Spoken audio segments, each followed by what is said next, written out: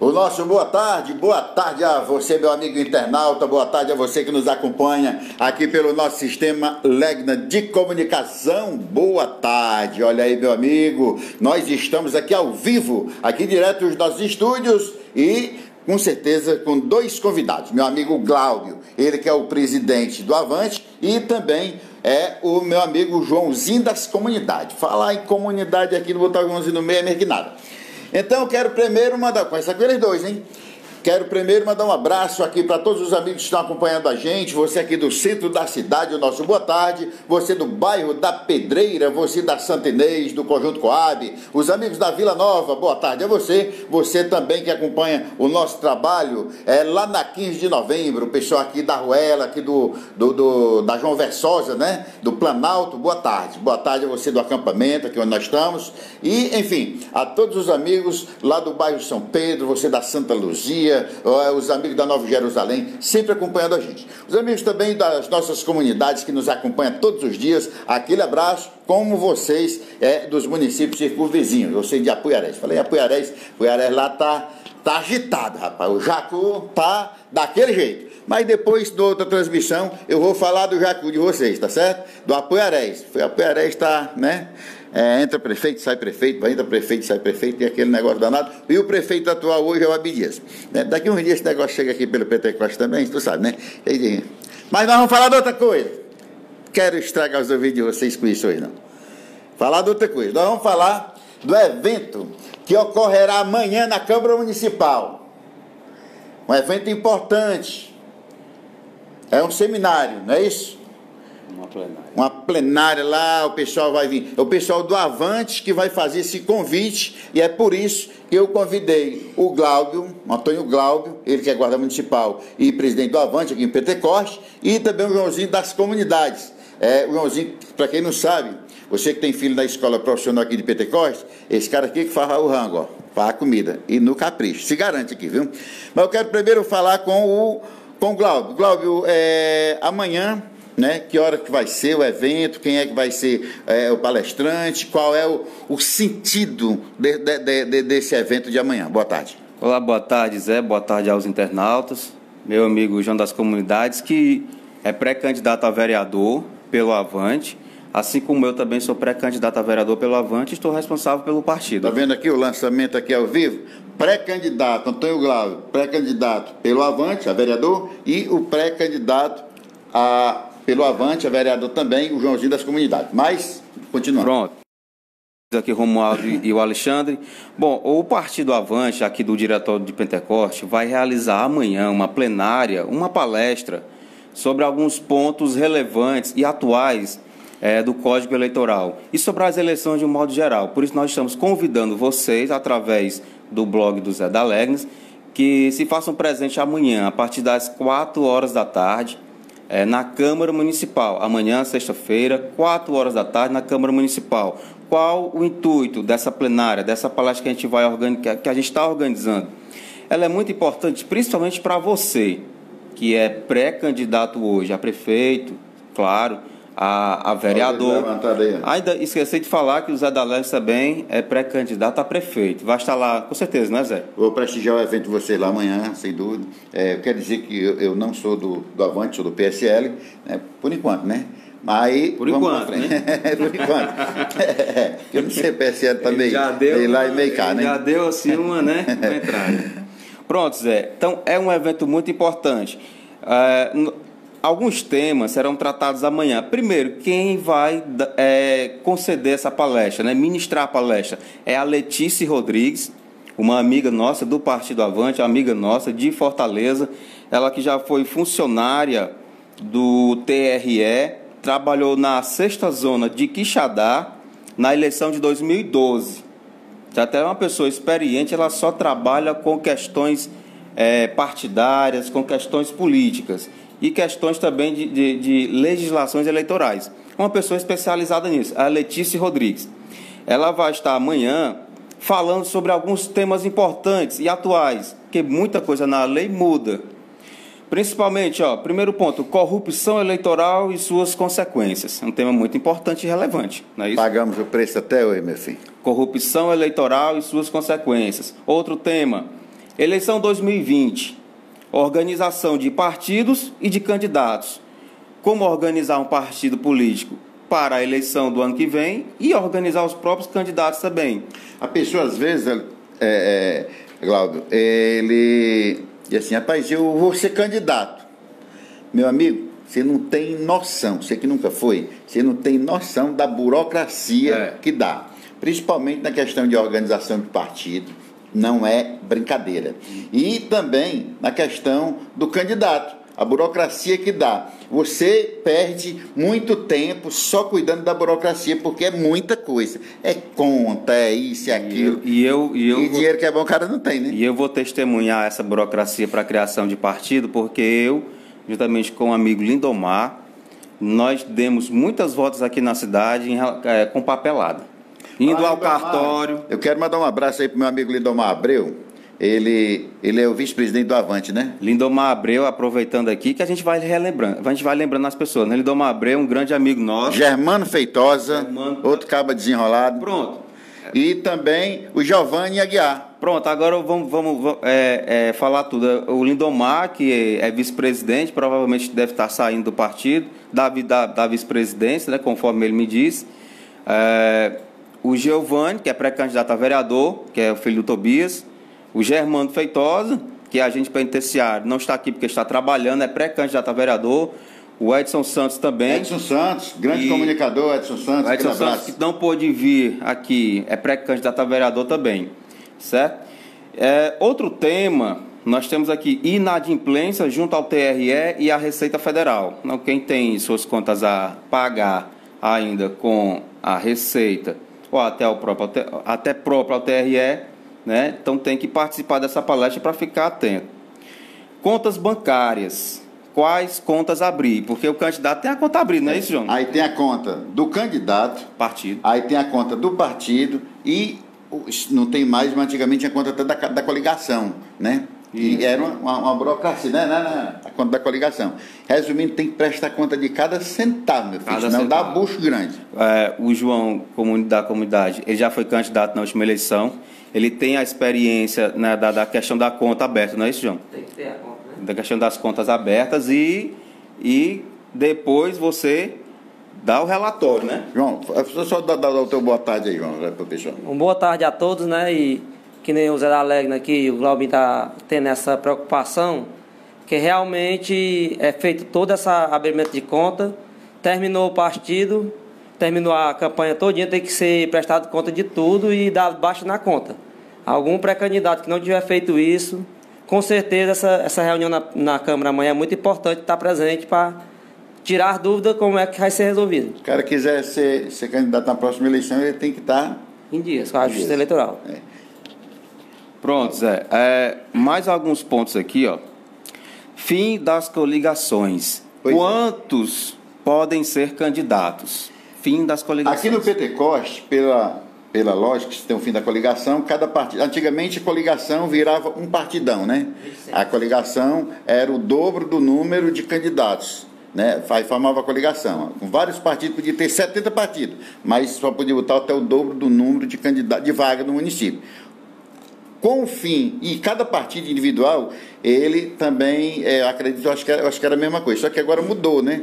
É, tem que ser 50% tem que obedecer o número de, de, de vaga 30% para mulheres, né? Isso. E dessa vez as mulheres vão ter que se candidatar mesmo. E o outro aviso que a gente faz para as mulheres, ó. É, o par, todo partido político e tem uma. Mulher laranja aí, aqui no Pentecostinho pra caramba, né? Mulher laranja não entra no nosso partido, pelo menos aqui não entra. E não é para entrar em nenhum. Atenção às mulheres. Os partidos têm uma dificuldade enorme em encontrar mulheres para serem candidatas. Mulheres, vocês são importantes, são muito importantes para o pleito eleitoral. Certo? A participação de vocês deve ser mais efetiva. Vocês são extremamente importantes. É, outro ponto aí, Zé, é, novos prazos, prazos de filiação, domicílio eleitoral e janela partidária. Janela partidária deve ser em março, né? O domicílio eleitoral, o domicílio eleitoral, a pessoa tem que estar pelo menos um ano é, que, no, no, município, né? A, a lei, a lei provavelmente possa ter mudado nesse é. sentido, certo? a lei provavelmente pode, possa ter baixado para seis meses. Não tenho, Seis não meses. tenho essa, essa certeza, mas. Antigamente mas- era um ano. Mas creio que já vi isso. Quer dizer, certo? você está tá vendo aí que nós aqui estamos cheios de dúvida, né? dúvidas, e é exatamente por isso que é muito importante essa palestra de amanhã, certo? Elegibilidade. Quem não pode ser- se candidatar? Quem é que não pode se candidatar? Quem é né? que não pode? Você tem ficha suja, Ah. né? Você ficou devendo. Próximo ano vai ter um assim, ó, que não pode. né? vai ter um bocado de propriedade administrativa aí. Outra coisa importante também, Zé, é pré-campanha eleitoral. Redes sociais. O que pode e o que não pode. O que pode e o que não É pode. importantíssimo isso aí. Essa última eleição para o Conselho Tutelar Foi uma prévia. Foi uma prévia da pré-campanha eleitoral sobre o que pode e o que não pode. Então, é, não é de se aproveitar de certas coisas, de certas condutas na rede social, porque aí você pode inviabilizar um candidato. Né? Nós tivemos aí, isso aí uma, uma questão muito, muito contraditória nessa eleição do Conselho Tutelar. Então, Zé, a nossa palestrante é a Letícia Rodrigues, né? Ela é ex-funcionária do TRE, como eu falei, respondeu pela chefia do cartório eleitoral da sexta zona de Quixadá na eleição de 2012. Ela até está online agora. Eu mandar um abraço para ela. Amanhã, três horas, ela Essa é a estará Letícia, né? aqui. É a Letícia. né? Letícia Rodrigues. Letícia Rodrigues. Aí o, o nosso É, amigo Zé tem é, algumas é, coisas para é, é. comentar também. Pronto. É, João, falar aqui com o João. E você, com certeza, você que está acompanhando a gente, você faça o seguinte: não importa se você é candidato ou não, se você é pré-candidato ou não. Vá lá, vamos prestigiar esse evento. Você sabe por que, que ele é importante? Porque você fica afinado e afiado. Você fica é, com argumentos suficientes, inclusive para você é, é, debater com algumas pessoas que tem. Rapaz, todo dia aparece um sabichões da vida que acha que quer engolir você com, com argumento. E muitas vezes, se você não sabe, aí te engole mesmo. Então, vá lá, João, amanhã. É muito importante né, que as pessoas vão, é, não só aqui da sede do município, mas do interior também. No interior, mas tem tanta gente boa, mas muita mesmo, que, que, que seria excelentes parlamentares, né? Olha aí. É, o a, rapaz, Rubens Castro, mandar um abraço aí pro Rubens Castro. Minha amiga Ana Moreira. Ana Moreira e o vereador Ailton Castro. Olha aí, mas nós temos até vereador assistindo a gente. E Coisa boa, viu? Nós, vamos, nós, estamos com, nós fizemos um convite personalizado, o Avante teve esse, é, essa intenção de mandar, nós mandamos para todos os vereadores, secretários, prefeito e o vice. É uma conduta, conduta é, institucional, né, normal, de enviar um convite para alguém. Claro, claro, claro. Tô, claro. É, é, viu, Ailton Castro, vice-presidente da Câmara, né? É, vai lá levar a galera lá também. Erlon Dias, né? É, Pronto, essa aqui é a Letícia. a Letícia, Letícia né? da, Letícia da Silva tá aqui. Dias. Pronto, é. Boa tarde pra você. Amanhã a gente se encontra, amanhã. viu? É, amanhã a gente se encontra. Alex Barbosa, boa tarde pra você, né? É, tá mandando boa tarde aí pro Glaucio e pro João, né? O Alex é gente boa, tá sempre acompanhando a gente. E ele tá perguntando se vai ser transmitida a palestra, certo? É, rapaz, nós vamos pensar se nós vamos transmitir. Provavelmente sim, mas nós vamos pensar porque é, para as pessoas que moram fora. Agora, bom mesmo é que você vá Isso. participar, né? Vá participar, bom mesmo. Né, né, não, irmão, que as pessoas vá, não vai custar nada. É, começa às 16 horas, né? 16 horas. 16 horas. Não demora muito. E amanhã não tem expediente depois das duas, né? Tem, não tem, é tranquilo, né? Bom, pessoal, é muito importante a, a ida de vocês que são pré-candidatos e o popular também é, do Pentecoste, que gosta da política, para poder ficar inteirado do que é que pode, o que é que não pode, justamente para quando tiver as visitas nas casas, a pessoa saber um pouco sobre a política local e municipal, né? Rapaz, esse próximo ano que vem, esse próximo ano que vem, vai ter tanto candidato desses cabos que anda com os bolsos assim, ó, que vai ganhar e pode acontecer como aconteceu com ele sendo conselheiro lá. E não vai levar, sabe por quê? Que vão vacilar. São vacilão mesmo, mas só, só sabe trabalhar com dinheiro, né? Aí vai, vamos supor, você que está em casa aqui acompanhando a gente, vamos supor, o candidato chega na tua casa, aí vai te oferecer dinheiro, aí tu é mais esperto do que o candidato, aí tu bota um celularzinho gravando ele, te oferecendo dinheiro. Olha aí, mano, o cabo já se lascou, mano. Já se lascou, e é bem feito. Zé, o, o vereador Ailton Castro está dizendo aqui, amanhã estarei lá. Grande Zé. Beleza, então, é satisfação recebê-lo. O Luan Rodrigues, é, é, meu amigo Luan Rodrigues também. Eu tenho certeza que tem uma vontade enorme de ser, de ser candidato a vereador. E um dos caras que eu acredito é meu amigo, comunicador. Ele está dizendo boa tarde ao meu amigo Zé e aos convidados. Boa tarde. Luan, se você puder, Luan, se você tiver tempo, você vá amanhã também, que eu, inclusive, eu quero conversar contigo lá, tá certo? Zé.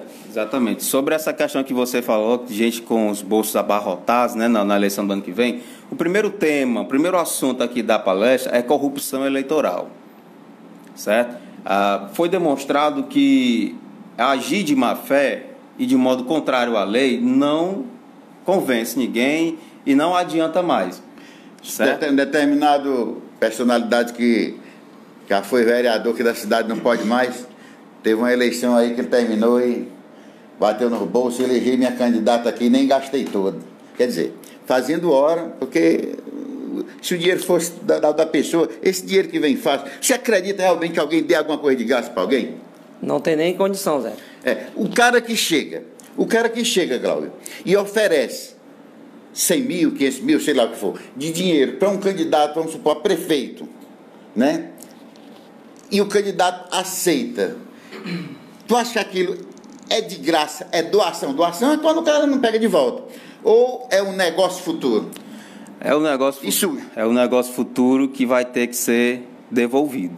E essa devolução, ela pode custar o suor do povo. Você, você tem que perceber isso. Mas, Glauco, é, aí analisando assim, vamos supor que o camarada chegue e dê... Pronto, Zé da Legna, pré-candidato a prefeito. O cara chega e diz, é, vou te dar é, 300 mil reais ou meio milhão de reais Zé da Legna está bem, vai ganhar eleição. Zé da Legna ganha eleição. Eu recebo aquele dinheiro, vou comprar voto, vou fazer acontecer. Então, para me pagar aquele dinheiro que eu fiquei devendo, eu vou ter que fazer alguma coisa errada para começar, né? Porque tudo, tudo hoje na licitação, então eu vou no mínimo viciar uma licitação para poder o cara ganhar, para poder. Não, não é assim não. Com certeza. Tô, a não ser que tenha outra mágica, eu não Com conheço. certeza você vai se corromper. Uhum. Né? Já então, se corrompe no momento que aceita, né? Exato, no, no momento que aceita. Então, é isso que a gente vem, é isso que a gente está trazendo. Nós do Partido Avante, Diretório de Pentecoste, nós estamos trazendo essa palestra por quê? Porque nós estamos dizendo que não queremos corrupção eleitoral nós não queremos corrupção de modo algum, não queremos e não vamos comprar voto de ninguém, certo?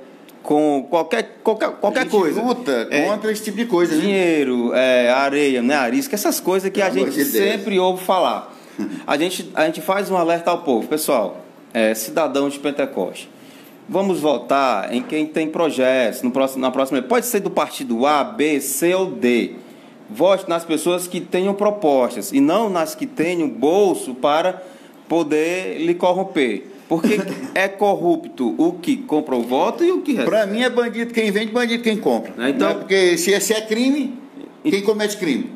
Então veja bem, então veja a, a, a nossa filosofia, a, a nossa convicção, ok? É participar de um, é participar de um pleito limpo. Não é isso, João? Nós queremos entrar limpos e sair limpos. É, é por isso que nós estamos trazendo essa palestra. O, o, o Alex Barbosa está dizendo, com certeza, é, quem tiver condições de ir, vão, que é muito importante. Mas tem gente que assistir e não vai poder. Se puder ser transmitido, vai ser muito, muito importante. Não, nós vamos analisar esse fato ah, isso é uma possibilidade de, de, de, ser transmitido, sim, né? né é, bom, é bom estarem lá, né? Mas... É, mas vamos estar lá, porque a gente pode, pode a gente vai fazer o possível para poder as coisas funcionar, tá bom? Joãozinho, é, você como candidato que você já foi, eu também já fui candidato a vereador, é, você candidato como você já foi, qual é a maior dificuldade que você encontra na luta, que se torna até uma luta desigual, dos poderosos, né? Você chega lá, você conversa, você mostra a proposta, Aí o camarada vem com dinheiro, derruba tudo que você fez. É, Zé, porque o povo, ele, a gente senta com eles, recebe a gente bem, conversa, promete, mas quando chega aquela reta final dos três dias, Os três que dias. neles fala que é três dias mesmo, eles se corrompem, porque o povo chega iludindo, dizendo que vão fazer isso, fazer aquilo, comprando mesmo na.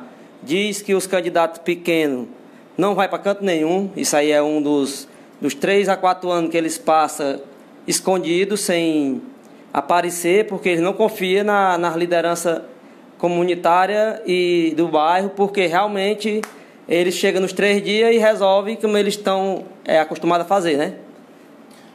É, povo de Pentecoste, pensa bem. Nós temos emprego na cidade, nós temos muitos desempregados na cidade, certo? Nós temos um desenvolvimento é, razoável na, na, na nossa cidade. Então, o que é que eu quero dizer com isso? Está na hora da gente pensar, nós todos, nós todos, porque nós todos somos eleitores, nós todos. A, a, ainda que sejamos pré-candidatos, somos eleitores. Cidadão acima de Cidadãos do nosso Pentecoste, né? Então vamos pensar bem.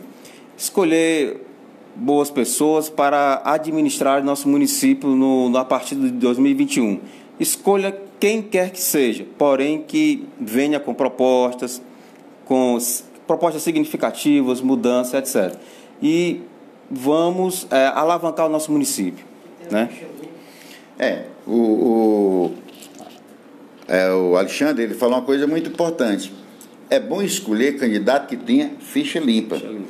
Ficha limpa. O cara que já foi vereador, que já foi, que tem probidade administrativa, nem pode mais ser. Se tiver improbidade, não pode mais ser. Mas que já aprontou. O cara que foi na tua casa, na tua casa, que prometeu e só apareceu quatro anos depois para pedir voto, você vota nele só se você for dono abestado. Com certeza, não, não? com certeza. É, agora, é, quando você falava aí, se Pentecoste tem emprego, cara, nem tem, e do jeito que está, não pode ter. Por quê? Porque o que nós temos, uma gama grande, enorme, de jovens, de jovens que terminam o ensino médio, os que terminam o ensino médio e que não estão fazendo faculdade e que estão desempregados. Por quê? Porque não tem qualificação profissional. Tem que ter qualificação profissional antes de se pensar em qualquer outra coisa. Qualificação profissional é não só para os jovens, mas também para toda a população. O que tem de gente aí, Glauber, que precisaria, que tem vontade de aprender a, a costurar, por exemplo, e não tem um curso ofertado pelo poder público. Porque tem de gente aí que tem vontade de aprender a trabalhar de pedreiro e não tem condições de aprender. Porque às vezes o pedreiro aprende da pior maneira possível. Ele se encosta perto de outro pedreiro e vai lá, vai aprendendo. Quanto que poderia facilitar a vida dele e ele aprender já com as técnicas modernas que existem, né?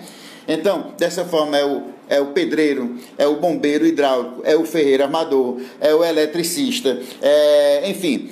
Quantas pessoas hoje não precisariam estar qualificadas, diplomazinha, qualificado, mas profissional mesmo, porque o bom profissional, ele não fica desempregado. Eu nunca vi um pedreiro bom ficar parado, ele fica doido. Todo mundo vai atrás dele, porque o cabo é bom. Eletricista, do mesmo jeito, costureiro, do mesmo jeito, né? E, e assim por diante, contanto que faça e sejam bons profissionais. É fazer bons profissionais. Aí já começa, porque aí o que acontece? Um município como esse, que tem políticos, estou falando, estou falando de, de, de, vereador, prefeito, mas tem político graúdo, meu amigo, tem senador, tem deputado federal, tem governador, tem deputado estadual, que se for lá atrás deles, eles conseguem viabilizar, inclusive a vinda de, de empreendimentos para cá, de fábrica para cá. Né? Exatamente, você tocou numa questão técnica e profissional, né? Onde estão é, os, os cursos técnicos e profissionalizantes é, é, que antigamente existiam no CVT, não é isso? CVT se profissional lá, se profissional lá, se profissionaram lá no CVT nos últimos tempos, um bocado de vagabundo levando as telhas, os tijolos, as portas, isso aí se profissionalizaram em roubar. Então a gente precisa de, de cursos profissionalizantes, né, que, que, que profissionalizem nossos jovens para o mercado. Com qualidade. Com qualidade, com qualidade, exatamente. É. Então é isso, Zé. Então nós estamos convidando todos vocês, né, o Partido Avante, Diretório Municipal em Pentecoste, está convidando você, convidando você para uma palestra amanhã na Câmara Municipal sobre diversos assuntos, tá certo?